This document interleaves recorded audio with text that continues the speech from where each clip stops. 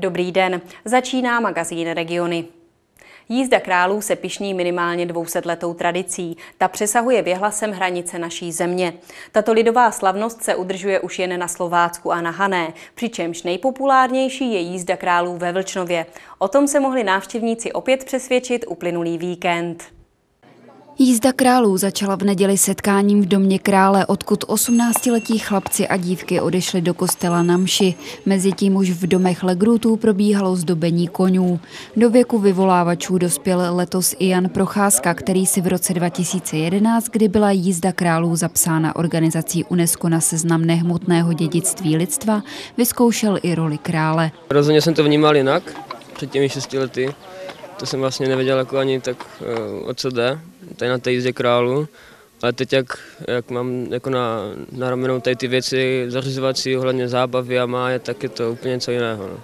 Teďka, teďka teprve vidím, co ti kluci museli udělat, aby všechno bylo. Početná družina Legrutů za hojné účasti diváků vyzvedla krále před jeho domem a pak už se celá skupina vydala na samotnou jízdu obcí.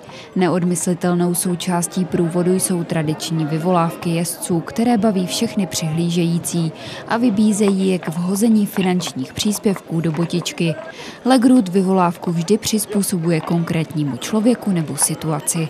Včera v Bůdách na nás dolehla krize, protože nás tady natáčá televize. Vy se na mě pěkně smějete, určitě třeba teďka přispějete. Každá jízda králů je originální, po každé totiž jezdí jiní vyvolávači. Jsou to chlapci, kteří v daném roce dosáhnou plnoletosti.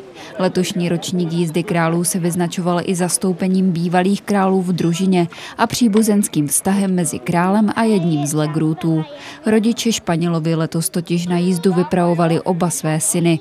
Specifická byla letos slavnost i pro Jiřího Jilíka, který v amfiteátru převzal od Moravské národní obce cenu za vítězství v anketě Osobnost Moravy 2016 a také pro bývalého starostu Vlčnova Jana Pijáčka. Já nejsem žádný Ignáček, že tady stojí bývalý starosta Pijáček. On nám pěkně sně, že mě do botečky něco přispěje. Na krála, Matičko, na krála. Užívá si to, je to pro mě malinko takové jako nostalgické, se musím přiznat. Ehm, je to takové i hm, trošku těžší, než jsem si myslel, ale nicméně vlastně já mám 26 letou premiéru, po 26 lety mám premiéru, protože já teďka jsem vlastně na jízdě králů jako host starosty obce Vlčnova, takže to si opravdu trochu užívám. Vlastně poprvé jsem se podíval na programy jízdy králů, protože nějak jsem byl vždycky vázaný vlastně povinnostmi k těm našim hostům, takže teďka s manželkou procházíme po Vlčnově, díváme se, kocháme se, jako tou krásou. Měli jsme klid eh, na sobotní pořad, který byl nádherný, takže opravdu se přiznám, že si po 26 letech užívám celou jízdu králu, nikoli jenom její jednu více, že to je ten průvod těch jezdců. Jízda králů je organizačně náročná akce a doprovodný program probíhá po celé obci. Většinu povinností mají na svých bedrech právě chlapci a děvčata z ročníku. My jsme s vodičem dobrá parta, že tam stojí místo starostka Marta. Ona se nám pěkně směje, že mě do botečky něco přispěje. Na krála, Matičko, na krála! Těším se z toho, že kluci se zase tak stmelili, tak jako každý rok. Je to pro ně náročný víkend, nejenom náročný víkend, ale náročný celý rok protože oni mají spoustu povinností. Od, jak jsem vzpomněla, ten eh, krojový ples, pak mají obchůzku velikonoční, pak staví máj, který celý měsíc květen vlastně chrání. Zrovna jeden z těch chlapců, který mě v pátek říkal, že už dvě noci nespal, protože hlídal, hlídal máj, ale říkal, to nevadí, já to dospím všechno až po jízdě králu. Takže já si nesmírně vážím toho, že ti chlapci e, jsou tak stmelení, že tak drží pohromadě a že, teda mají, že mají zájem o tu jízdu králu a mají zájem tu tradici uchovávat dál. 13 verbířů se v sobotu sešlo na náměstí Velké Moravy ve Starém městě, aby změřili své síly a utkali se o postup do finále soutěže o nejlepšího tanečníka slováckého verbuňku. To se bude konat na Mezinárodním folklorním festivalu ve Strážnici v sobotu 24. června. V sobotu se v rámci Zahrady Moravy uskutečnilo na náměstí Velké Moravy ve Starém městě regionální kolo soutěže o nejlepšího tanečníka slováckého Verbuňku. Je celkem 13 soutěžících, jsou tam i ostřílení borci, kteří několikrát ve Starém městě vyhráli a teď se střetnou zase proti sobě, tak si myslím, že to porota nebude mít vůbec jednoduché. Předseduje poroty Jan Maděrič plus další čtyři členové zkušení borci, kteří Verbuň ovládají, mají co mu, němu co říci, takže já si myslím, že diváci se mají na co těšit. Mezi 13 účastníky bylo několik ostřílených borců, kteří už zaznamenali úspěchy jak v regionálním kole, tak ve finále na Mezinárodním folklorním festivalu ve Strážnici. Je tam Antonín Žmola, který pokud to řeknu dobře, tak byl minulý rok druhý ve Strážnici, pak je tam Petr Pěcha, který několikatí násobný vítěz okresní soutěže, takže skutečně to letos vypadá velmi dobře a já mám z toho velikou radost. Ostřílený Petr Pěcha, několikanásobný účastník verbířského finále a vítěz ceny diváků ze Strážnice,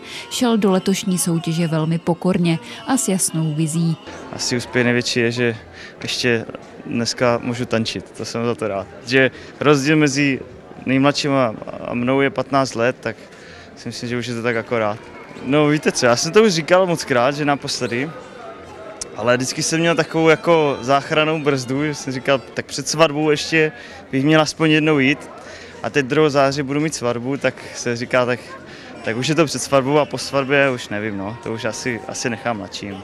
Žádné velké ambice nemám. Já hlavně jsem tady proto, eh, že vlastně moji žáci, první žáci, které jsem učil cifrovat, tak vlastně jsou tady poprvní. No, tak já jsem jim slíbil, že jednou toho svého učitele musí porazit a pak už se stanu, tak to je ta příležitost.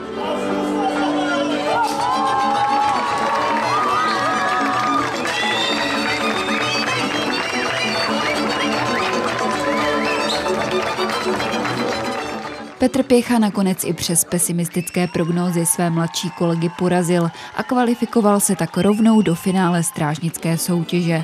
Do jejího předkola pak postoupilo ze Starého města dalších pět verbířů.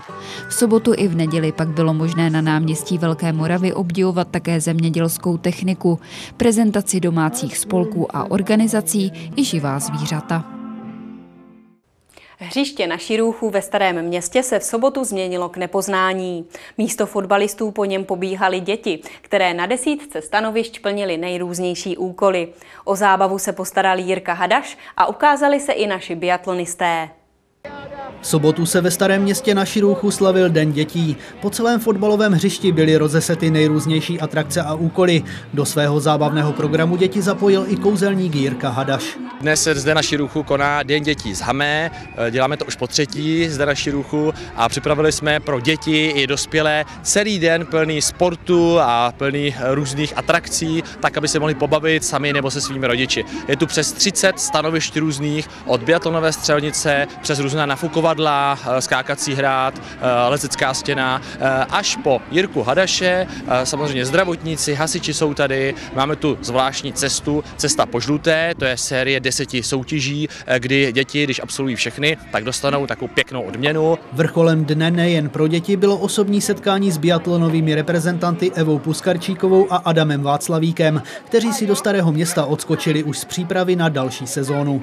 Těšil jsem se sem hodně, byl jsem, byl jsem na to zvědavý, ve Starém městě jsem nikdy nebyl a je tady spoustu dětí a je to tady, je to tady hezký, je super počasí a je to fajn.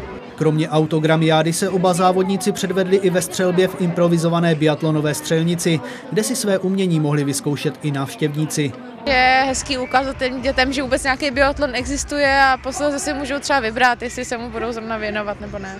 Tady asi úplně toho sněhu nebude, ale já myslím, že tady je spousta klubů letního biatlonu a ve starších eh, kategoriích, pokud jsou spádové oblasti, které jsou taky takhle na Moravě, takže myslím, že to je dostupné. Akci s podtitulem Jdeme po žluté fandilo i sluníčko a tak na konci dne mohly být spokojené děti, jejich rodiče i pořadatelé. V sobotu se v Dolním Němčí u myslivecké chaty konaly zkoušky ohařů. Po jejich úspěšném absolvování se pes kvalifikuje jako lovecky upotřebitelný k dohledávání a přinášení drobné zvěře. V sobotu se v Dolním Němčí u myslivecké chaty konaly podzimní zkoušky ohařů. Po jejich úspěšném absolvování se pes kvalifikuje jako lovecky upotřebitelný k dohledávání a přinášení drobné zvěře. Dneska jsou to, i když to má takový nespecifický název, podzimní zkoušky ohařů, ale ono je to vlastně zkouška praktického lovu, kdy z jara je vel, velmi dobré, jsou velmi dobré podmínky krytiny pro zvěře, pro ty psíky, kde můžou prokázat vlastně ty jejich vrozené vlohy pro, pro, pro práci se zvěří. 18 psů se svými vůdci bylo rozděleno do tří skupin, které postupně plnili úkoly na třech pracovištích.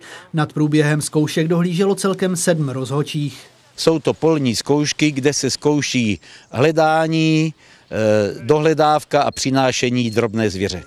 Každá disciplína eh, má svůj koeficient, kterým se násobí zná přidělená známka. Nejlepší známka je čtverka, nejhorší známka je jednička. Známka krát koeficient dává počet bodů a součet počtu bodů dává potom umístění v první, druhé nebo třetí ceně. Kromě podzimních zkoušek mohou ohaři absolvovat ještě zkoušky vloh, lesní zkoušky, zkoušky z vodní práce nebo všestrané zkoušky. Mimo to existují i speciální zkoušky pro teriéry, jezevčíky či barváře a další myslivecká plemena. Kinologie jako taková má eh, v myslivosti nezastupitelné místo, protože pes je opravdu velký pomocník při výkonu práva myslivosti, jednak eh, co se týká vyhledávání zvěře, samozřejmě potom při ulovení její přinášení a v neposlední řadě, což je nejdůležitější, potom dohledání postřelené zvěře. Podzimní zkoušky zvládlo tentokrát úspěšně 13 psů, z nichž čtyři dosáhli na titul šampiona práce České republiky CACT. Ten se při podobných zkouškách konaných v okrese Uherské hradiště uděloval vůbec poprvé. Festival Sportáček má v České republice namířeno postupně do sedmi krajských měst. Jako první zavítal do Zlína, kde se uskutečnil již po třetí v řadě v rámci filmového festivalu. Zájem o tuto akci byl veliký. Stadion mládeže ve Zlíně se poslední květnovou neděli zaplnil do posledního místa. Zájemci o sport si tady totiž mohli vyzkoušet více než 30 sportovních disciplín, které prezentovaly místní kluby. Letos očekáváme návštěvu kolem pěti tisíce lidí, což znamená několik tisíc dětí, které mohou začít sportovat a pokud přivedeme k pohybu jich aspoň polovinu, tak je to vždycky úspěch. Festival Sportáček se stal největší náborovou sportovní akcí v České republice pro rodiny s dětmi od 3 do 18 let. Všichni jeho účastníci si díky němu mohou vyzkoušet různé sporty a vybrat si pro sebe ten nejpříhodnější. Rugby, volejbal, lední hokej, fotbal, tenis, aerobik nebo třeba i kickbox. Jsme tady s kámošem boxovali do sebe, drtili jsme se, je to tak nerozhodně, jo. Líbí se mi to strašně. Je to dobrý sport. Na stadionu mládeži byla k vidění i celá řada exibičních vystoupení a rozhovorů se známými osobnostmi. Je to prvotřídní příležitost vlastně pro rodiče s dětmi přijít a vyzkoušet co nejvíc sportu, protože pokud to člověk neskusí, tak nemůže vědět, co ho baví a, a třeba pro co má vlohy. Festival Sportáček našel oblibu u všech sportovních oddílů. U mládeže totiž stále vítězí počítačová technika nad sportem. Potom, co si ale lecos vyzkouší, zatouží mnohé z dětí po nových výzvách. Sportovní oddíly samozřejmě zaznamenávají nárůst svých členů po festivalu Sportáček, protože když oni si pořádají sami nábor, tak jim tam přijdou těch dětí maximálně desítky a tady to jsou stovky nebo rovnou tisíce dětí. Zaplněný stadion dokázal, že děti o sportování zájem mají. Ve velké míře ale záleží na jejich rodičích, zda jsou ochotni svůj volný čas ve prospěch svých ratolestí obětovat. Region Podluží patří k větším a aktivnějším svazkům obcí, které působí na Slovácku. Jeho členové se nedávno sešli na veřejné schůzi v Lužicích.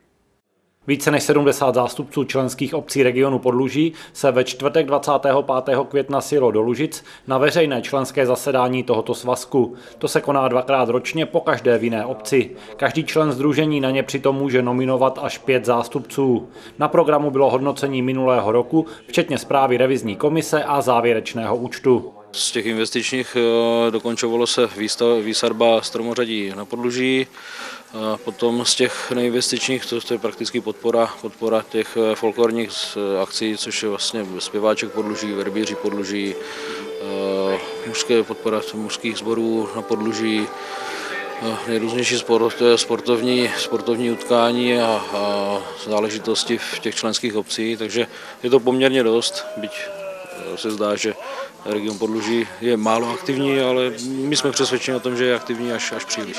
Hlavním cílem regionu Podluží je podle jeho předsedy podpora sportovních a folklorních aktivit především dětí a mládeže. Přesto se zabývá i dalšími projekty, včetně investičních. Ty plánuje i v tomto roce. V letošním roce, pakliže budeme úspěšní, budeme žádat o dotaci v rámci projektu Obce Pro Ministerstva práce a sociálních věcí a chtěli bychom zpracovat pro členské obce a pro region Podluží strategický rozvojový dokument, což je prakticky primární záležitostí, která by měla začít v letošním roce a pokračovat v následujících letech. Region Podluží leží ve stejnojmené národopisné oblasti. Funguje od roku 1999 a má 15 členů, od Lužic u Hodonína až po Ladnou na Břeclavsku. Patří k němu i městy Moravská Nová Ves a město Lanžhot, kde sídlí. Žije v něm 27 tisíc obyvatel. Už 26. ročník pohádkového lesa připravili pořadatelé dětem k jejich svátku v Uherském ostrohu. Na asi kilometrovém úseku se děti i jejich rodiče mohli potkat s krtkem, loupežníky, zakletými princeznami, ale i koňským povozem či hasičským autem. V sobotu 27. května se les kolem myslivny v Uherském ostrohu proměnil v kouzelné místo plné pohádkových postav. Mateřská škola s křesťanskou výchovou ve spolupráci se spolkem rodičů a domem dětí a mládeže Pastelka tu už po 26. proměnila okolní stromy v pohádkový les. Máme tady 10 stanovišť, jsou tam čarodejnice, krteček, v lese dokonce máme bričku, která děti povozí za odměnu, ale nejenom za odměnu, když projdou tím, tu trasu pohádkovým lesem. Na začátku trasy děti přivítala paní lesa, která jim vysvětlila, co je čeká dál a na co si v lese mají dávat pozor. Po cestě děti čekalo několik stanovišť a úkolů, které si pro ně připravili pohádkové postavy. Malí návštěvníci se tak potkali s červenou karkulkou a vlkem, vodníky Líným Honzou a jeho mámou nebo loupežníky. Z lesa je pak vyprovodili dvě čarodějnice. Mně se líbily čarodejnice, ta červená karkulka a čerti. Mně se líbily ta červená chaloupka a ta karkulka. Mně se líbil ten kletek a, a u těch ježibab se mi líbilo ti hadi s těma ještělkama. Uh, karkulka, červená karkulka. Pepe. Cíli byly pro děti i jejich rodiče připraveny nejrůznější atrakce i doprovodný program. Od dvou hodin nám tady hraje skupina Eldorado Country, přijeli k nám z Veselí nad Moravou. Pak tady máme atrakce, co můžeme nabídnout dětem. Vždycky přijíždí hasičské auto, kde hasiči jsou úžasně ochotní, ukážou dětem, co to hasičské auto má, jak je vybavené, mohou si zastříkat hasičskou stříkačkou. Pak tady máme trampolínu, skákací hrad, ale také i občerstvení. Děti za odměnu získali drobnou sladkost nebo palačinku a rodiče se v parném dni mohli svlažit třeba pivem. Dnešní magazín končí. Já se s vámi loučím a přeji vám krásný zbytek dne.